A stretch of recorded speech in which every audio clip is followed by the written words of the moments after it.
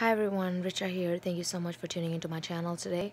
If you're not subscribed to my channel yet, please make sure you subscribe and um, like the videos, comment on them, whatever you feel like. You don't even have to like it if you don't want to, if you don't think that the content is right.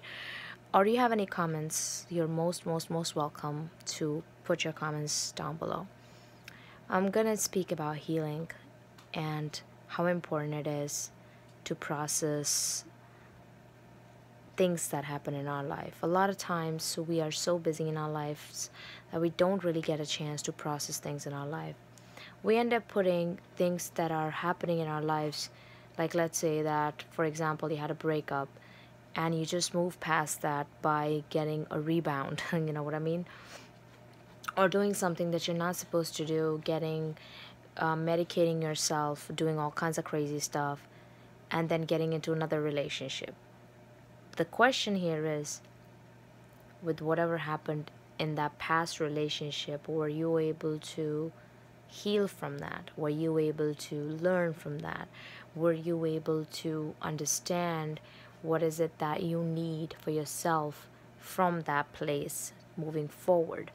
And a lot of times people do all kinds of craziness in anything. You know it could be a relationship it could be a job it could be abuse of any type we just want to experience the next best feeling, which is feeling good.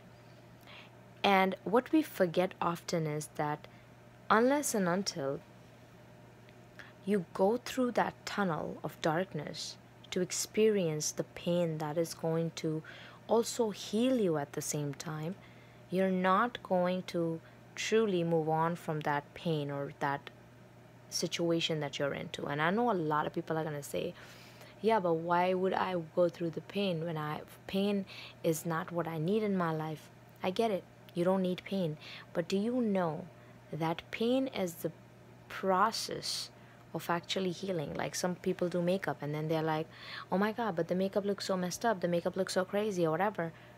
Trust the process ultimately there are steps to it and ultimately it's going to look good but you have to go through the process of actually getting to a place. Anything in life has a process.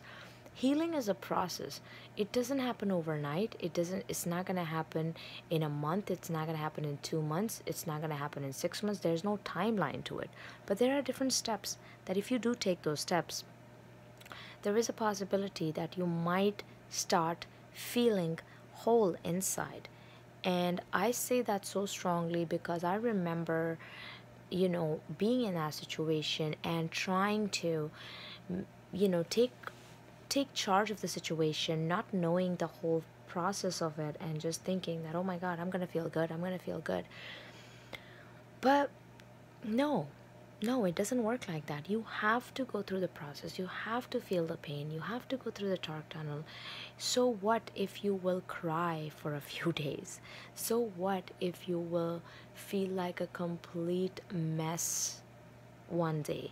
But you have to go through that process in order for you to heal and move forward and feel better, you know? And that's not going to happen if you if you look for the next rebound or you look for the next happiness or you look for look for medicating yourself you know and taking charge of situations that you don't even know. So what i'm going to tell you right now is if you are somebody who is trying to heal who is trying to get out of a situation let it be any situation please please please please please understand you cannot do that with medicating with moving on to the next person with moving on to the next situation. You have to experience the pain. You have to assess yourself and see what is it that you need for yourself what is it that you want for yourself and then move forward. And that's the way to do it. So that was really it. Guys if you have any comments any any any comments i don't even care if it's any kind of comments put your put your comments below. Let me know what you think. And um, I love you all.